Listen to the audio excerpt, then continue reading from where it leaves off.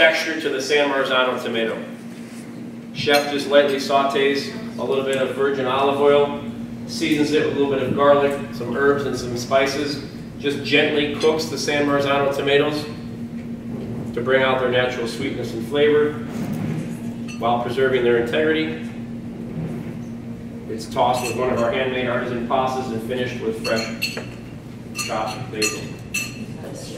So it really showcases the extreme sweetness and flavor of the San Marzano tomato. The next sauce is the arrabbiata sauce. If you ask the ladies in the kitchen, you know, I've cooked, like I, I remember making arrabbiata sauce 35 years ago when I was working in an Italian restaurant. And we just always knew it was like a spicy sauce. The literal translation of arrabbiata yeah, angry. It's like an angry sauce. When you ask like Angelina back in the kitchen, like, what is arrabbiata? She's like, I don't know, it doesn't make sense. She's like, it's the sauce is just angry. so I would describe it as also a wonderful way if you like a little bit of spice, but it's a nice balance because you have the sweet tomatoes. Sweet and spice are a great flavor pairing that play off of each other very well. So the same thing, chef focuses on the San Marzano tomato in this specific sauce. It stands at the forefront just by sauteing a little bit of olive oil with garlic, herbs, and spices. They'll add a little bit of dried crushed chili to it. Instead of, oh, it's tomato basil with hot seed. We understand the difference? If I could get every one of you to talk like that, our business will go up 20%, and you're going to make 20% more. Because that's how they talk in Vegas. Yes. That's how I've trained them to talk at Joe Muer Bloomfield. Yes. A little spicy, right? That's good though. Don't drink the water, it intensifies it. That is delicious. It's my favorite so far. That's great, you just said milk. Because what combats heat? Fat is number one, sweet is number two. So that's, I'm sorry. Is arrabbiata vegan too? Yes. They're both vegan sauces. When you toss it with a pasta that's made with egg, obviously that kind of nullifies that. But we do have pastas that are So now I'm following up that spicy sauce with fat. You're welcome. To help calm your palate. Mornay sauce, or in Italian they would say besciamella, a thickened white sauce. So as you're tasting that sauce, what does it taste like? Cream. Cream. Tastes like cream.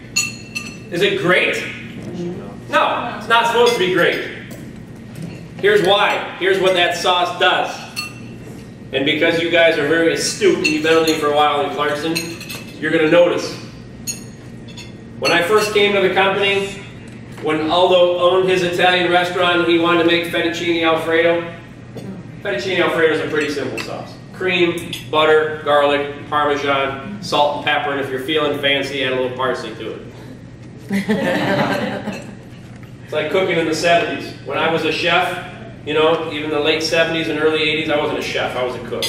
I don't even know if I'm a chef today, who cares? That title means nothing to me. Look at my jacket, I don't even have a name on it. I just want to work, you know?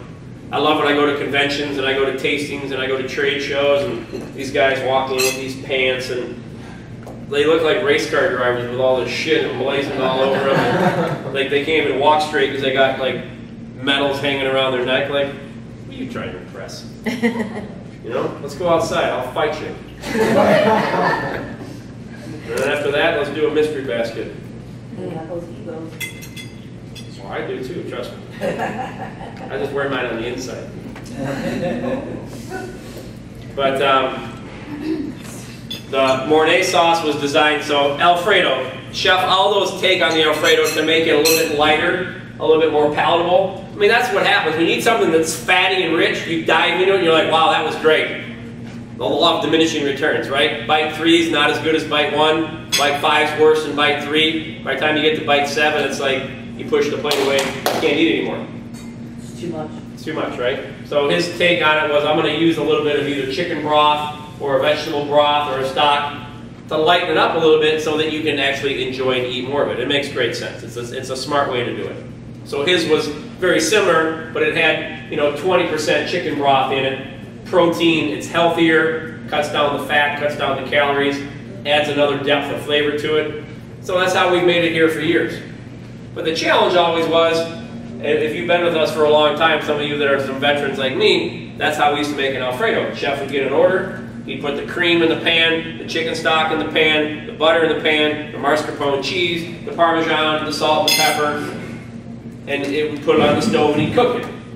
And two and a half minutes later, roughly, it would be cooked down, reduced, thickened, and the perfect consistency. He'd make sure it was seasoned properly, add the handmade fettuccine to it, toss it, spin it, and sell it. Well, guess what? We get busy. Now it only simmers for a minute and a half because he's busy. And he hurries it, and then he sells it, and then it comes up in the window, and you go to pull it out of the window, and it's thin and soupy, and it splashes all over you. The next one, he's busy, and he turns his back, and it cooks for three and a half minutes instead of two and a half minutes. Now it's like glue. He's too busy, he just throws the noodles in there and puts it up, and now the noodles are standing up this tall on the plate. They put their fork in it, and the fork stands up. Are you right? We've seen it? So this was my way to combat that, and this is classical French cooking, where we have base sauces that you make and you create to make sure that everything then that's derived from that sauce is much more consistent. So this is exactly what you alluded to. This is cream. But this is cream that I've already took cream, butter, garlic, herbs, spices, a little bit of chicken broth, and I've already cooked it and simmered it all together thickened it, reduced it, and made sure that now it's the perfect base. So now when I get an order for Alfredo, it goes in the pan. The chef has to add just a little bit more broth to it, a little bit of Parmesan cheese, let it cook for 30 seconds, and now the Alfredo is done. But this is just the base sauce to the Alfredo. So when you go to the window and you're waiting to pick up your fettuccine Alfredo in Clarkston, and you see the chef take a ladle right out of the well and put it over the top of your pasta, that's wrong. That's not Alfredo sauce. That's why I wanted you to taste it today. This is the sauce that we use to make Alfredo. But that's a cheat. That's a shortcut. That's a kid that shouldn't be working on our lines and shouldn't be cooking our food. You understand the difference of where I'm going with this? I'm trying to get a more consistent product, better quality. By saving a step, yes, it adds more prep to it, but that's all right. I want to try to deliver a more consistent quality product coming out of the kitchen. Yeah, I saw someone take uh, pomodoro sauce and try to give it to me like it was tomato-based sauce. Is that the same thing? Huge problem, especially if someone has a dairy allergy. Forget Yeah. about it. Call 911. I can't, I can't eat pomodoro sauce.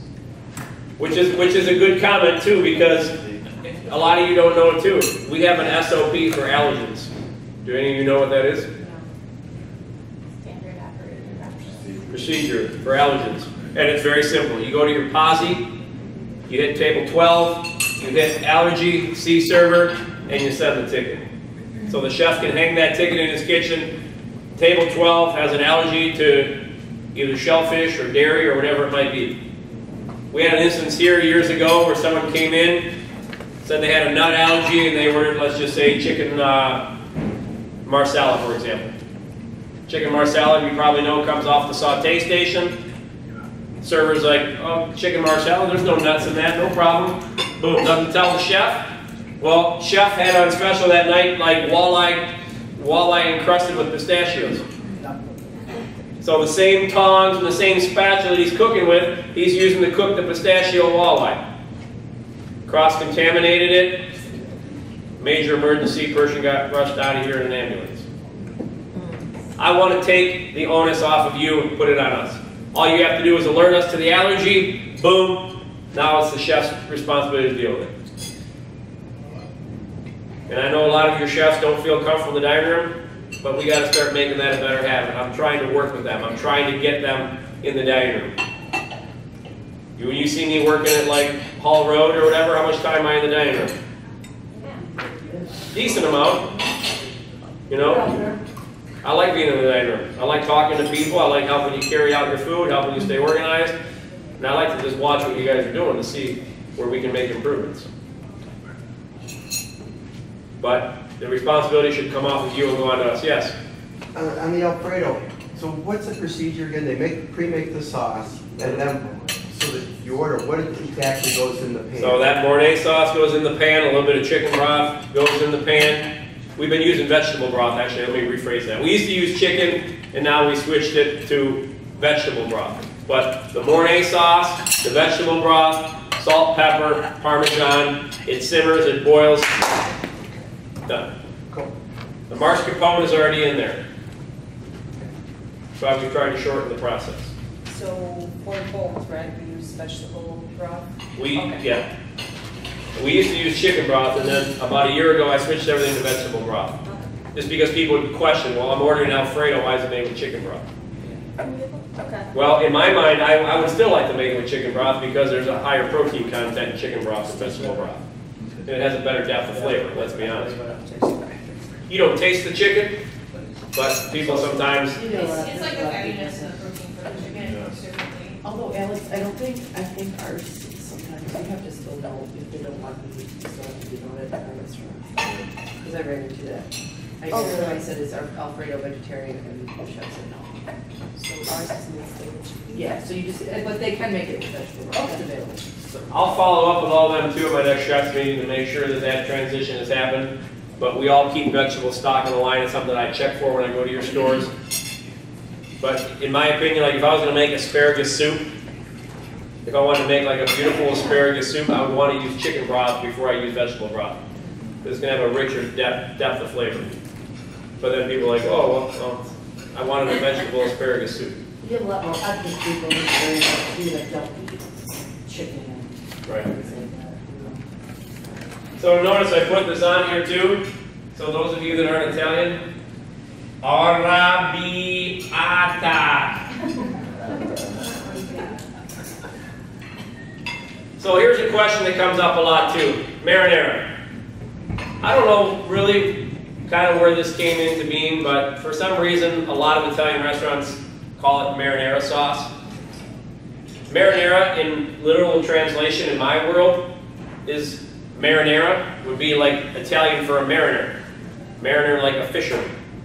So like in my world, when I see marinara sauce, it means in the style of the fisherman, it would generally be something sort of like a pasta frutta de mare, some sort of a seafood or fish stew or something.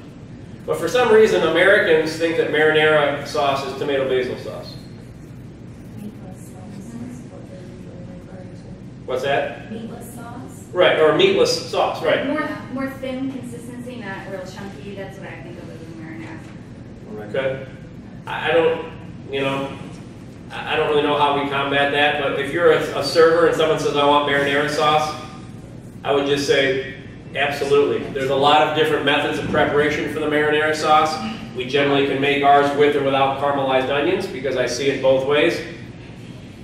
So I would just simply add tomato basil with onion or not with onion, and I wouldn't upcharge the onions. We don't have garlic cloves on it? It's the same as the tomato basil sauce. Basically, in my mind, the difference when we make marinara is we add oregano to it as opposed to only basil. So if someone comes down to you and says, I want your marinara sauce, they're gonna get tomato basil with oregano, and then they can either have it with caramelized onion or without. Just no dairy. No dairy, still, correct. And everybody loves, like, we think that if we make money by getting the check average up, which I guess, yes, makes sense, but we don't make money by nickel and dime on our customers. If someone wants marinara sauce and you say, would you like that with caramelized onions or not? Because traditional marinara sauce in my world would have onion in it. I'm not charging them for a side of onions. That's their sauce. It comes with chopped up onion in it in the sauce. Plus, like, the price is set for like a certain like ounce of onion, so like if you put like a pinch of onion in there. Right. You're charging for like an ounce of onion. Yeah, we're not even, probably, I'd probably add like a half an ounce of onion to that. It's not like I'm adding four ounces like I'd serving you on a steak. yeah, that's why like you wanna charge for like when someone gets like a lot of zip sauce for their bread, but if they just want a side of zip sauce. Right. I think that's a great point. I'm a stickler for people charging. And I know a lot of your chefs are kind of penny pinchers because I'm on their case about their food costs all the time. But there has, it's, it's, every, every time is the right circumstance for the right time and the right item. If someone orders a $50 steak and they want a side of zip sauce, if you ever charge them for a side of zip sauce, I would be infuriated. However, if they come in there and they're ordering a side of zip sauce because they want to dunk their bread in it, that warrants a charge for zip sauce. I had a table once that got twelve sides of zip sauce. It was disgusting. Well, that was, that was getting like. Well, why is that disgusting? People want to come to our restaurant and eat our It sauce. was like bowls and bowls of zip sauce, just, it was like that is a lot. My brother, my brother's a vascular surgeon, so I'll give you his card. We don't do that all the time. No, that was the only table. that- You know, but I, I think also we, s- we spend so much time, I blew up at one of our meetings to one of our managers, and what, you know what? We're doing promotions, like, let's talk about that for a second. I, I'm so sorry, I get off topic all the time, but this is all important learning. This is what we're here for. So that we walk out of here better, smarter, more educated, and more in tune with the brand of who we are. That's my goal. So Monday night, what do we run on Monday nights? Be honest, no penalty. Who likes bottomless pasta? I do. The cheapos. It's like. Okay. So here's the deal. Why do you think we run bottomless pasta? Yes. Educate them on what's different from our pasta than others. Uh, thank you. It is a marketing campaign. It is not a discounted promotion. It is a way to market who we are and that our pasta is made fresh. Our sauces are made fresh from San Marzano. It's a marketing campaign. And it gives you an It's- opportunity to let them taste the meatballs or the sausage to add things that they normally would as as Yes. well. Because they can add it because they're doing it for a cheaper price. Thousand percent. I'm going to allude on that in a second. I get a lot of people on Monday nights who come for the pasta, they already know about it, so we wouldn't have them if we didn't have them. And when, what time do they normally come in? Five Right. early. Right, when the whole restaurant's empty. Mm-hmm. So if I'm a server and I'm in section two, these are my three tables for the night. I'd rather wait on someone that comes in, even if they're drinking water, who cares? Two bottomless pastas, that table would have sat there empty anyway. I get it in now. So hey, you know what? Yeah, they're in, they're out. I made, so what? The bill was 20 bucks, I made five bucks. Five bucks you didn't have. And then you can, um, see, see that table later when the dinner actually comes in. And it gives us an opportunity to tell our story, gives us an opportunity to promote this. We're not out promoting, hey, we want every cheapo in town to come eat at our restaurant and eat bottomless pasta. It's a way that we can market that we're better, we're different, and we're unique to everybody else. And now we start adding kids eat free. So you guys already don't like the bottomless pasta program. so now I'm going to say kids can come and eat for free. And you know why we decided to do this? Because I want, I, I use your example all the time. I walked through your dining room a couple Saturdays ago, there was nobody in Sterling Heights dining room that was under 55 years old. There was 100 people in the dining room, every one of them was over 55 years old. You said they're all gonna be dead in ten years. Yeah, they are. I mean, that's a bad example, but like one table, I was like, you better get their food out now. I don't know if they're gonna make it to dinner.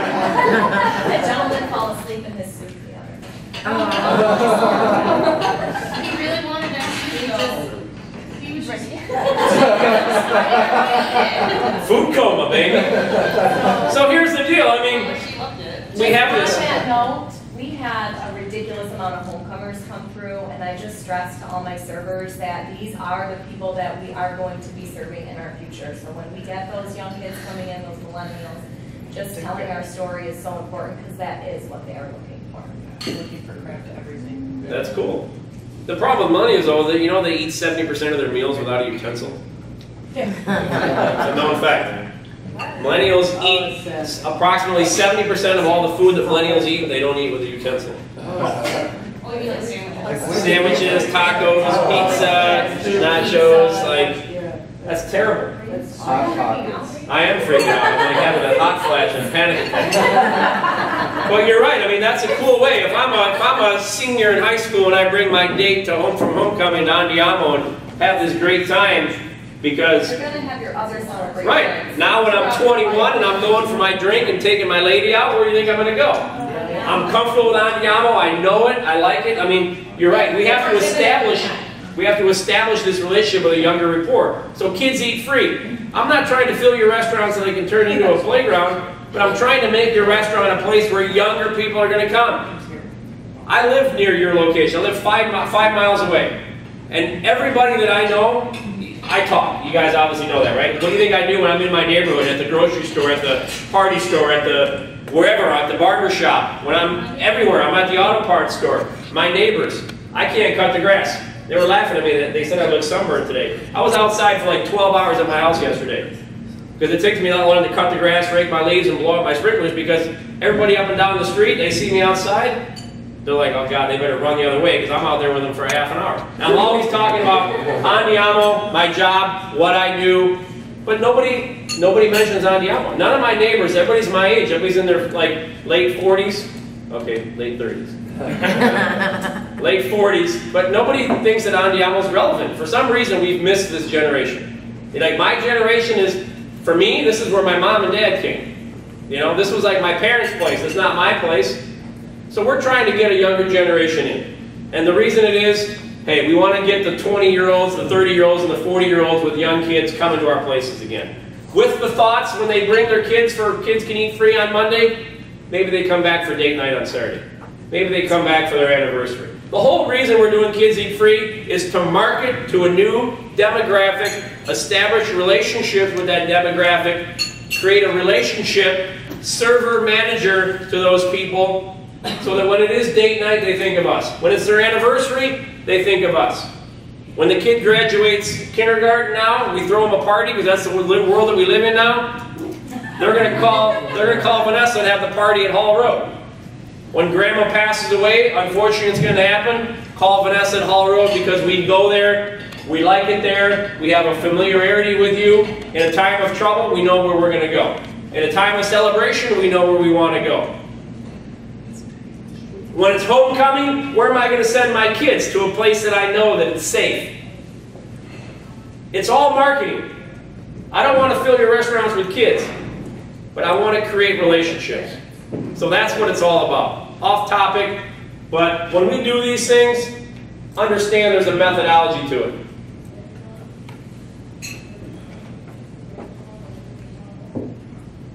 Olive oil and garlic sauce, we didn't talk about it quickly. I mean, I think we did, we mentioned it. But we don't say it comes with hot cedar, crushed red pepper. Chef adds a little bit of dried spice chili to it. Basil pesto crema. We don't just say, well, it's our Mornay sauce with pesto added to it. it's a wonderful blend of rich, sweet cream, 24-month aged Parmigiano Reggiano, Pecorino Romano. Chef takes fresh basil, processes it, makes his own pesto here in-house, but don't worry, he makes it nut-free.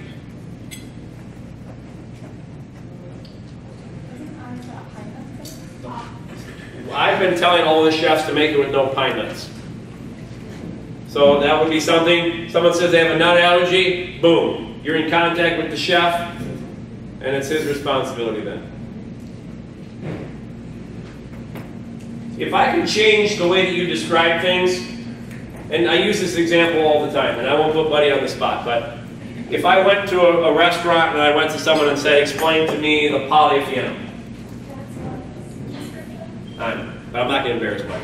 I'm in the presence of uh, a legendary so, when I look at a server that would say, describe to me the Polyphenol, like 99 out of 100 servers that are on Andiamo brand would say, well, it's chicken tenderloins, prosciutto, onions, peas, white wine, you know, rosemary cream, and it comes with our spinach and egg pasta. Fair assessment? Yes. That's what's going to happen. I'm just being honest. That's the facts. Well, congratulations. That's what the menu says. So if you're reading the menu, you see Polyfiano, it says exactly that. You've already read that. You already know that. So when I say, tell me about it, all you did was just regurgitate what I already read. Still the homemade, homemade pasta, egg, and spinach. So the, the, the, the proper way might be, and again, I'm not a speaker, but the proper way might be, ah, Polyfiano, been on our menu since it's our since our inception. One of our number one, probably our most popular pasta dish. Great choice. I see Chef We start- Aldo. I go into Chef Aldo's recipe. There's so many different directions you can go with it, but chef takes the chicken tenderloins, which are the sweetest, most succulent, most tender part of the entire chicken. Those are lightly seasoned. They're caramelized in a skillet with a little bit of virgin olive oil. Brings out even more of that natural sweetness, starts to develop the flavors in the pan. Adds those sweet onions. The onions start caramelizing with the chicken, developing the levels of flavor. As chef caramelizes it, he then adds and deglazes with the white wine. Cooks out the alcohol in the wine. You're just left with that sweet, beautiful varietal of the grape.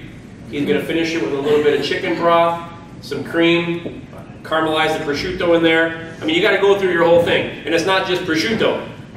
We have uh, prosciutto di Parma. Our prosciutto comes from Parma, Italy. It's aged for 24 months.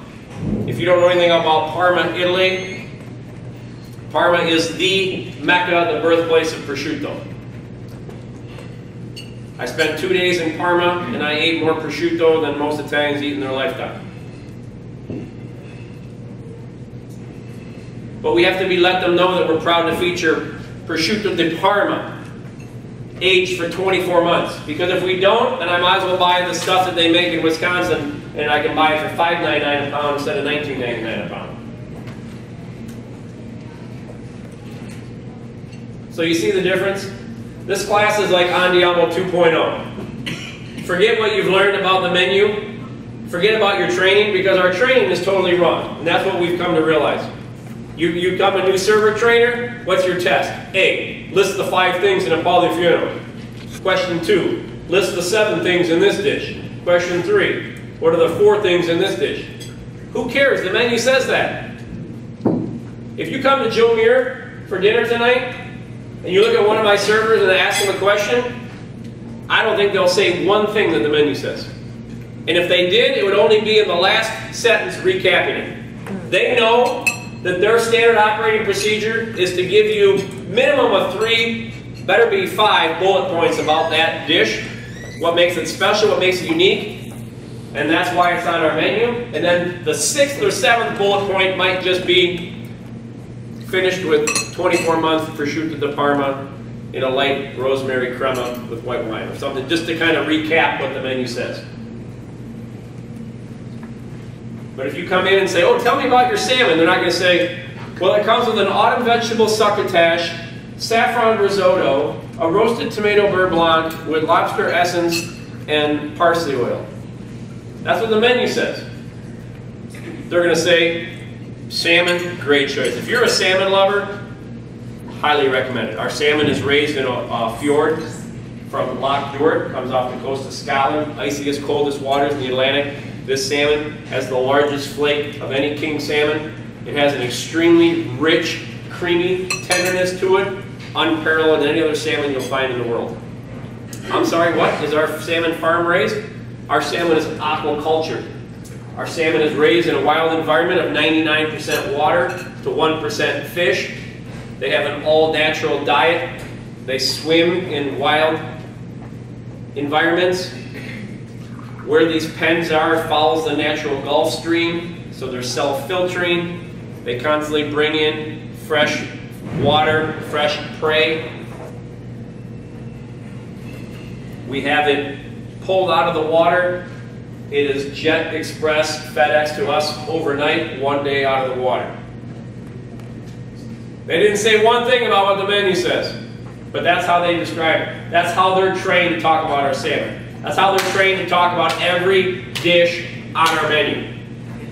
So when you go back to your stores, you need to practice, you need to role play, you need to challenge each other, because you've only got those two people eating bottomless pasta at 5 o'clock, and you got there at 4.45. You have a lot of time between you get busy between 5 and 6 o'clock to talk with other servers and role play.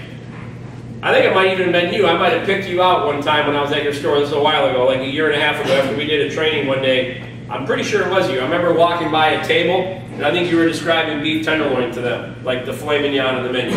And I was so proud of the way that she was talking about it and describing it that I used her as an example in Atlanta.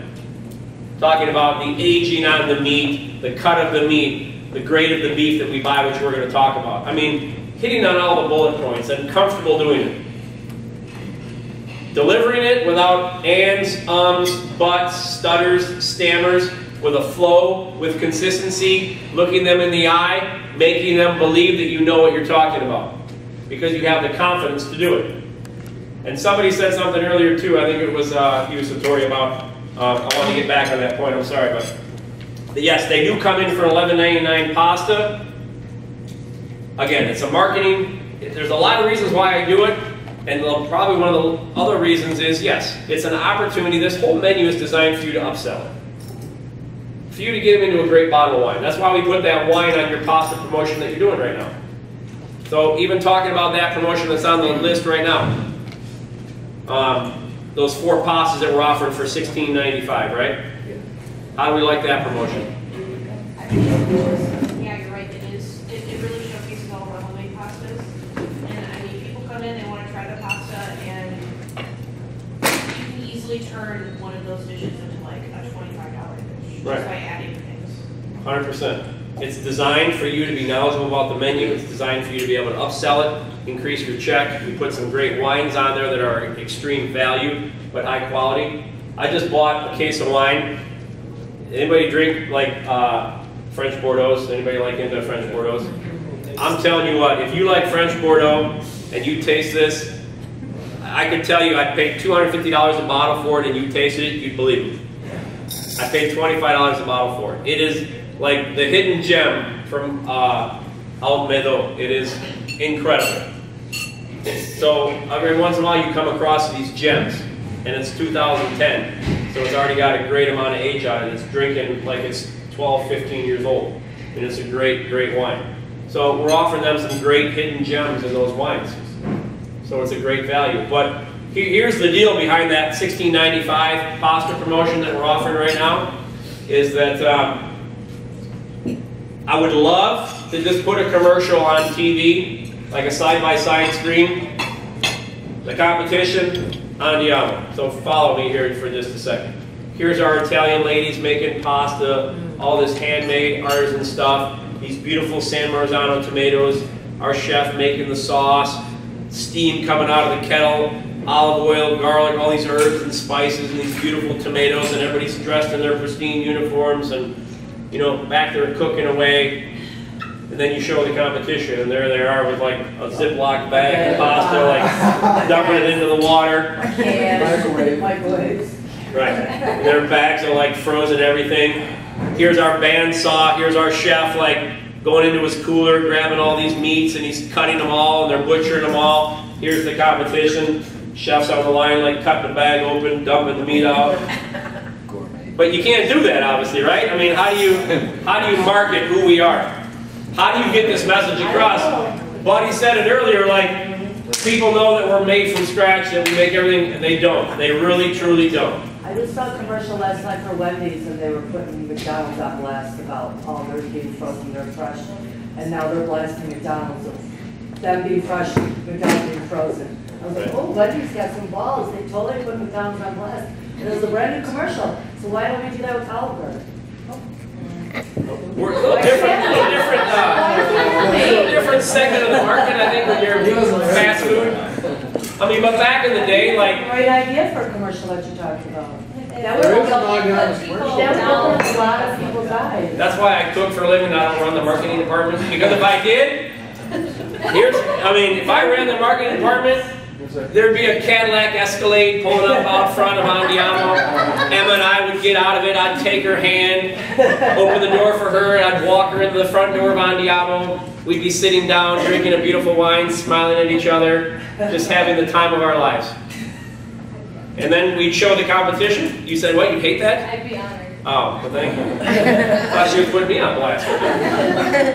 But um, my wife would be with us, of course, too. We'd pretend like you're my daughter. I mean, but um, then we'd show like this, like hoopty, you know, smashed in like seven different colors, and these people get out that are like, like people that eat like 12 bowls of zip sauce, you know, and they go waddling in like more breadsticks over here, you know, like the bottomless like soup and salad bar. I mean, you watch TV, they're offering three dollar entrees now. I just saw that on TV last night. I was watching the football game. Some commercial came on Ruby Tuesday. They're offering three dollar entrees. If you buy the salad bar. I mean, what kind of world do we live in? There's there's this much of the market that's left that's doing business the way that we do, and the other part of the market is Three dollar entrees, five dollar pizzas, and dollar menus. Yes. I studied marketing in college, so I think that like something I've really been emphasized to by my professors is that like you should worry about building your brand and not worry about Somebody else. I agree with that. so That's a great the point. brand equity, your brand equity is the most important thing to do. But it just sounds. That's, you're, that's, you sound like you work for our marketing team, that's what he says. The brand, the brand, the brand, the brand. Watch a Lexus commercial or a Cadillac commercial versus a Ford, Chevy, or GM commercial. I mean, they're different marketing, it's different, you know? It's, it's a whole different style of everything about the brand. I mean, it's truly like that. Burger Wars is Burger Wars, it's a different category, I get it. You're right. So it's all about building our brand. This 1695 is not about trying to fill seats with cheap people, cheapos, sorry, that drink water. It's about our brand. It's about building our brand. And it's the way to market our brand and build our brand by letting everybody know we make everything fresh, we make it from scratch, we know what we're doing, we know what we're talking about. That's why it says in your menu, ah, this is from the Lazio region of central Italy. Because that's where Chef Aldo was from. Chef Aldo's from a small town outside of Rome, in the Lazio region of central Italy. So we pay homage to him in this menu.